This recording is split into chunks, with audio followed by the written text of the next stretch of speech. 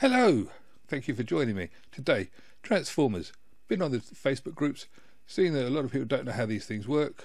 Thought I'd just give a little bit of information. Not going to go into it too deep because this is Gary Keep It Simple. So, how do Transformers work? Keep tuned.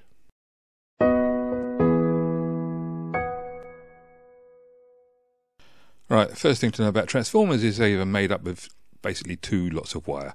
Unless it's an auto transformer, we'll cover that in a minute. So you've got a set of wire goes around a lump of metal and then you've got another set of wire runs away from that metal. So the two windings are totally separate. There is no connection between the two windings on a normal transformer, which is why they're very good for being isolation transformers. What that means is you can have a signal coming in one side, which can be messy and, and nasty, and on the other side you'll have a signal which is not connected to it, but is actually picking it up. It's just a, a gentle way of getting it across. That's one way of putting it, anyway.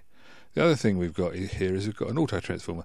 Now, an auto transformer works on a very similar principle, but unlike I said before, it is only one wire with bits taken off it, and we'll cover that in a sec. Because what actually happens, you don't want me to go into ma major maths on this, but basically, if you've got a thousand turns on the primary and you've got 500 turns on the secondary, then you'll get half the voltage out that you put in. On the other hand, if you've got a thousand on the primary and 2000 on the secondary, you'll get twice as many volts as what comes in. That's why it's useful. Now, when you look at the auto transformer, you can see that actually you've got one wire comes up and it goes all the way through that coil and all the way up to the top, and you've got tappings off that single wire. It still works on the voltage per turns, but because the whole thing is across the mains, the result is that if you go halfway up the coil, you get half the mains out. The good thing about auto transformers is they're relatively cheap to make. The bad thing about them is there is no isolation. So if it's mains in, it's mains out, as in there is a, a live, a neutral, and an earth.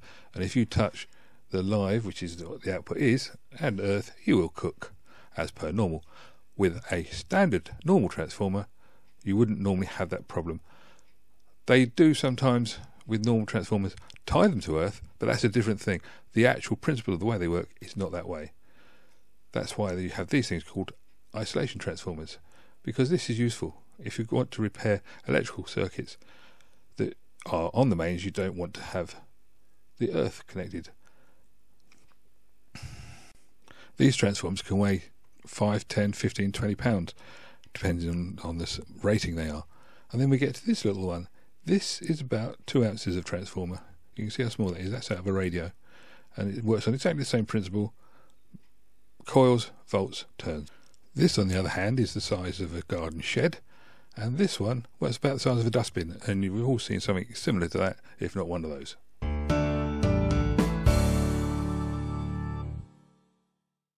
The points to take away about transformers is that they are big, heavy, or they're small, and that they are used to convert voltages either up or down from the original input. They only ever work with AC, and you have to be careful about them because you never know what's coming out if you haven't looked at the specs. Obviously, there's a lot more to go into with transformers if you want to, but this is just all you need to know on the surface of it. Catch us again. Like, subscribe, push a button, do something. Catch you later. Bye bye.